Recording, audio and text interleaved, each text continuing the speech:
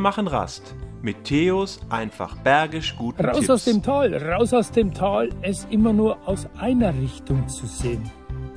Wie es dir gelingt, diese Position zu verändern, um damit auch neue Perspektiven kennenzulernen und wertzuschätzen, das zeige ich dir jetzt durch folgende drei Tipps. Erster Tipp ist, sei neugierig, interessiere dich aufrichtig und ehrlich für den anderen gegenüber und sei gespannt, ihn zu erkennen.